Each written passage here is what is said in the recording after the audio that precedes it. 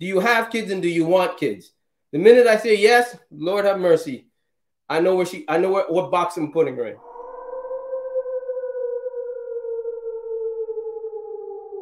What happens over time if communications goes south and the conditions that you have are no longer met? If the conditions that I have are no longer met, then we have a conversation about the conditions that I have not being met. Just like if I'm not living up to the expectation that she has when she's coming into this, knowing the type of man that I am, I'm going to have to say, I'm going to have to take that into consideration. And it's not all, like I said, it's not all about me. It's not all about her. It's all about equivalent exchange. This is what I want. Can you give it to me? This is what you want. Okay do you think I'm the man that can give it to you? If I am, let's make let's try to make this work. If I'm not, don't hold me up. Cause I'm not gonna hold you up if you're not giving me what I want. It's a waste of time. Yeah, and I'm just like uh, you know, just like Unc, I'm married as well too. Um, do you feel like in this modern day it, it's it's hard to to find that, to get that? The women without kids component is the hardest. Fuck.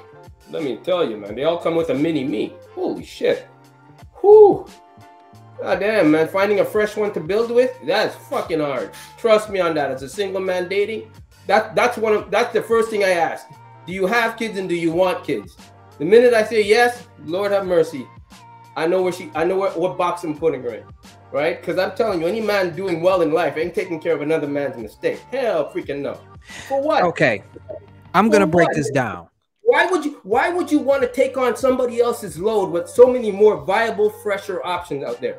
That's like walking into a grocery store and looking for the fruit that's damaged. Why would you pick that up? Like why? I'm gonna break it down.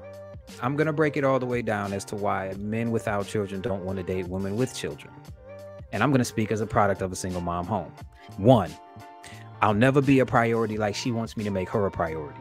Her child is always going to come first and they should because no man should ever come before to somebody that came out of your body.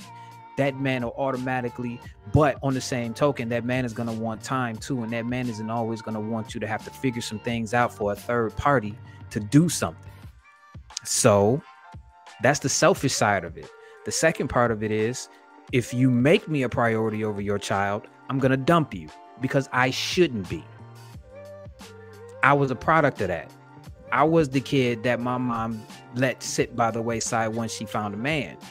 I was no longer, I was a son husband until she got a husband. I won't respect you if you do that. Number three, unless the father of the child is deceased, I will always have to deal with another man in my relationship. And I ain't trying to do that.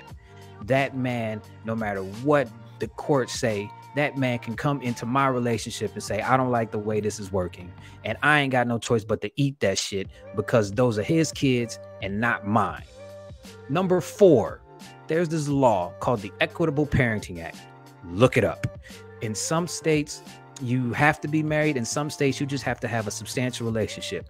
But if you are married for over five years to a woman who previously had a kid, or you are in a relationship with a woman that previously had kids, and that child looks at you as a father figure, that woman can take you to court for child support. So it's dangerous for me to date a woman with kids. It's not financially lucrative for me to date a woman with kids. And the state can hold me responsible for kids that didn't come out my ball sack. I ain't trying to go through that. So just to alleviate all of that, I'm just going to not date women with children. It's not because I hate them, I'm a product of one. But there are too many factors that are against me to do it.